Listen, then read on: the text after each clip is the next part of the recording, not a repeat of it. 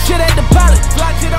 Niggas be be sobbing, but still talking shit like they violent. Carmelo Anthony is always on the news for the wrong reasons. Ever since he came to the Knicks, He's only had one good season and he got eliminated in the second round. All the other years are either first round exits or just complete failures. Melo has said numerous times that he wants to retire as a Knick and wants to bring the city a championship, but I think it's come to a point where even Melo is tired of it, and thus another Melo watch has emerged. Where should Melo go? I think the first thing we have to look at is what is Melo in this point of his career? Carmelo Anthony is a 6'8 small forward that can score the basket in any way you can think of. However, his numbers are going down and father time is catching up to him very fast but I feel like he still thinks he's in his prime. He's a great guy to be a second or third scoring option on a championship team and is surprisingly pretty versatile on the defensive end as well. The only problem with Melo is will he accept his role as that second or third scoring option because even in New York, he has a 7 foot 3 unicorn of a player in Kristaps Porzingis but we've seen Melo stop the ball too many times and we've seen him just try to take over games when he doesn't need to. But we also have to consider the fact that Carmelo has a no trade clause, meaning that not only will this trade have to be beneficial for both teams, they have to be beneficial specifically to the eyes of Carmelo as well. But with that being said, here are my top 5 choices for Carmelo Anthony, the Cleveland Cavalier. In a perfect world, this is the best trade destination for Carmelo Anthony. He can finally play with LeBron and it will sure give him the best shot of winning a championship outside of joining the Warriors. For the Knicks, the Cavs have players such as Kevin Love and Tristan Thompson that can easily replace the loss of Carmelo Anthony. So the ideal trade would be Kevin Love for Carmelo, but as we've seen this week, the biggest problem in the trade scenario is what does Cleveland get in return for giving up a piece like Kevin Love? Essentially, nothing. Kevin Love is an all-star, a rebounding machine, can start the break as fast as anyone, and is almost as good of a scorer as Melo this year and he's younger. Carmelo simply doesn't address any of Cleveland's issue. Is he a playmaker? No. Is he a big man? No. Carmelo is neither of those things. But if the Cavs could pull off a deal where they don't trade any of their big three, I would consider Melo. But even at that, I would still hesitate. The Los Angeles Clippers. Now this is actually my favorite option for Melo for a couple of reasons. One, it's Los Angeles. We know that Carmelo is in love with his whole brand. I mean, that's one of the main reasons, if not the main reason, Melo wanted to go to New York in the first place. Los Angeles is basically the second best thing to New York in terms of business opportunity. Another is the fact that in Los Angeles he can win and the Clippers actually need him. While Melo is an ISO scorer and a ball stopper, the Clippers are actually one of the few teams, if not the only team, that actually need a player like that. When the playoffs come, the game slows down. And when you have a ball stopper like Melo, he essentially forces you to play that slowed down basketball, which is an aspect that I really think the Clippers need to work on. I know, I know it doesn't really make sense, but I've seen too many times where the Clippers have to throw up a bad shot at the end of the shot clock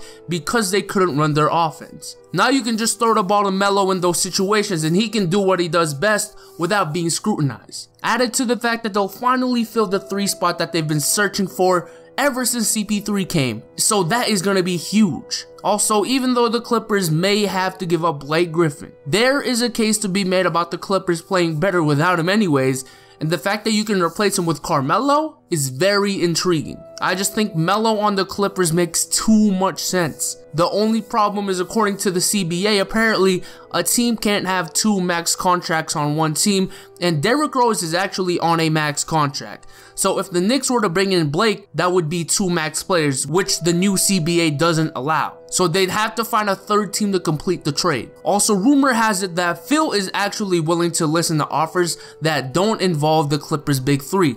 So if that's the case, this is a no-brainer for the Clippers and the Knicks. They really just need to find the right deal and a third team to make it happen. The Boston Celtics. Okay, I know what you're saying. Man, this man always brings up the Celtics. But if you've been actually on the topic of this video, the Knicks have reached out to the Celtics and the Celtics have two first round draft picks from the Nets that are most likely going to be top 5, which makes them the best trade partner for any team trying to rebuild. So yes, The Celtics will almost always be in any trade rumor just because of the treasure of assets that they have. And the fact that they've been needing a star for years, I mean, they're the perfect trade partner for a lot of teams. But even after saying that, I don't think the Celtics are a good fit for Carmelo. One, I just don't think Carmelo will propel the Celtics above the Cavs. Melo wants out of New York to win a championship. And I think fans know and Melo knows that him going to Boston isn't gonna fix that. He's a ball stopper and the Celtics pride themselves in good ball movement and not trying to play hero ball. But I do believe that outside of the Clippers and the Cavs, this is his best option. Even if I said that adding him won't give the C's the best shot to win a championship, outside of Boston, the Clippers, and the Cavs, who else is willing to trade for him and will be an enticing option for Melo given that his mentality is to win now? Now if I'm the Celtics, I only look at Melo if we can get him really cheap. I mean, we're talking 2018 Nets pick and Jaylen Brown only cheap. If Phil Jackson is willing to trade with the Clippers without involving any of their big three, why wouldn't he entertain trading with the Celtics the same way? And why wouldn't the Celtics try to trade just as much? The Oklahoma City Thunder. This team is actually the dark horse for Melo. The Oklahoma City Thunder is definitely not a enticing option for business opportunities and it is definitely not the best option for Melo to win a ring. But if Melo would rather go to any team besides the Knicks, and if the Clippers, the Cavs, and the Celtics all don't want Melo, or just can't find a trade to make it work, the Thunder would be the next best thing. This is basically like option D for the Knicks. I think the Thunder would think about pairing Westbrook and Melo as a way of maybe replacing Durant with Melo. Look, Westbrook isn't getting any younger and he's only there for two years. So if I'm OKC, I do everything to win now. Pairing Melo with Russ is the closest thing you'll ever get to two alpha scorers who want the ball working together, similar to KD and Russ. And if you look at the Thunder right now, they're sixth right now in the Western Conference,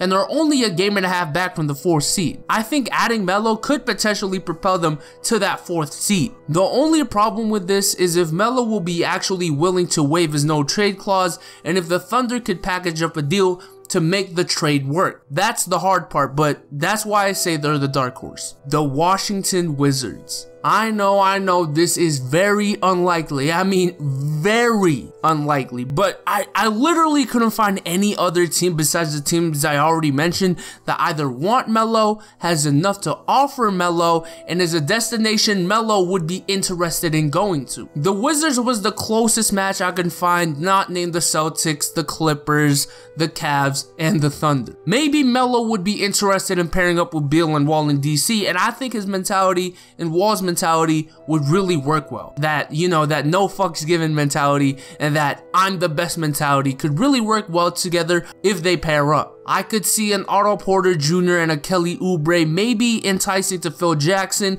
and the Wizards should know by now that no free agent wants to come to them after their hometown kid Kevin Durant didn't even give them a meeting after they signed Scott Brooks, his former coach, just for that reason. So knowing that, I think the Washington Wizards try to trade for as much stars as they can, and right now Carmelo Anthony is the hot guy on the block. So as you can see, Melo's trade situation is a very tough one. Melo wants to win now. Phil Jackson wants to rebuild. The teams that are winning right now don't need Melo. The teams that Melo wants to don't really need Melo as well. The teams that want Melo, Melo doesn't want to go to. Literally the only team I see that's a perfect match is the Clippers, but the whole CBA thing is making stuff too complicated. Everyone else is a reach and too big of a gamble for, for one side or another. But with that being said, I hope you guys like this video.